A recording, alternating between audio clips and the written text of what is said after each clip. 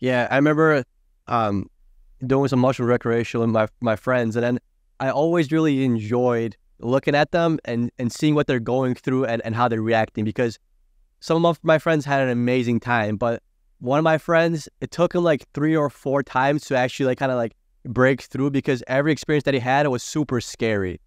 It was it was so scary to, to the point where where every time you know we talk about doing it, you could see like a little bit of fear in him because he doesn't, he doesn't want to go through it again. It's almost like as person and, and my, this buddy of mine was a little bit stubborn and, and it's like it was he was a little hard hard headed. So it's like you know I know you're having a bad experience, but it's still trying to show you something. It's trying to it's this thing that you're going through in your mind. It is scary, but it's you're you're supposed to or you're trying to or you need to kind of learn from it. Like why you're going through, through these bad things. What are you trying to fight? What are you trying to hide? What is this kind of almost like like showing you? What is like your almost subconscious tries to show you about yourself that you just don't want to let go. So I it was really cool seeing like some of my friends having the best time of my life and then my other friends having such a scary time.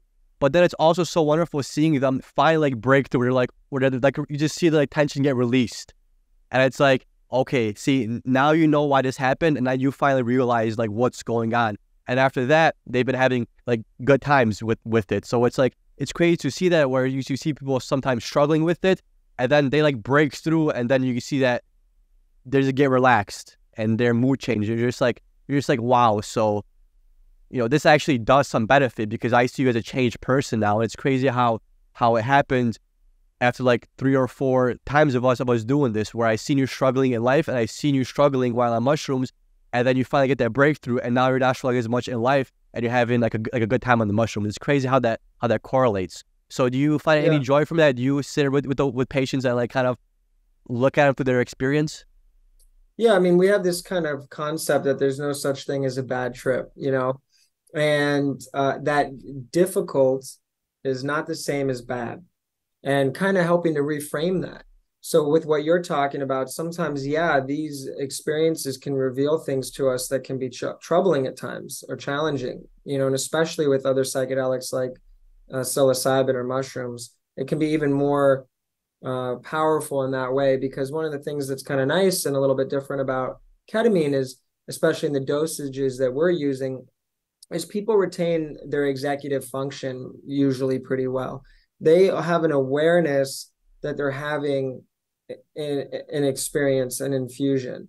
So there's a little bit of a and also they can kind of open their eyes and look around and reorient themselves to the room and feel a little more grounded in ways that can be very comforting Whereas with mushrooms or acid, LSD, you know, it can really kind of overpower, overwhelm you sometimes with the visuals or the way that you're affected by it to the point where you kind of lose touch with what you're doing or what's going on. And it's just really overwhelming. So, I mean, ketamine can do that, uh, typically not in the doses that we're using. Um, but yeah, you know, sometimes difficult material comes up, and that's a part of the process. And we encourage people to work through that, and we support them in it. And uh, yeah, difficult and bad are not the same. And there was actually a study done, and the majority of people who have what they would otherwise characterize as bad trips had gotten really good value from them afterwards. So while it might not have been pleasant at the time, they got benefits from it. And we really like for patients to have a pleasant experience. We work hard for that. And most of them do. And most of them really enjoy the infusion process. Um, but even when that isn't the case, there's healing that can occur. And during the infusion process, is there somebody maybe guiding the, the, the, the patient? Are they asking the questions or it just or is it just more of like this introspective thing where the patient goes through and you just kind of leave them as is and have them figure it out? Yeah, um, we're there for support if needed, but we don't want to be guiding. It's not our place to try to direct them to do or not do anything aside from keeping them safe. Um, that inner work, that inner journey is really important. And um, a lot of times, the intention is simply to be open and to trust, to relax, to allow whatever needs to come up to come up the medicine and the subconscious has a really amazing way of driving driving the car where it needs to go And I think so much of the ego and the conscious mind and our defense mechanisms want us to be in control, want us to choose, guide, steer, whatever, and get things right for those of us who might be perfectionistic. I don't want to do this wrong. At the end of the day, that's all really noise. And if you can just trust and be open, things are going to come up that need to. Just like with your friend eating the mushrooms.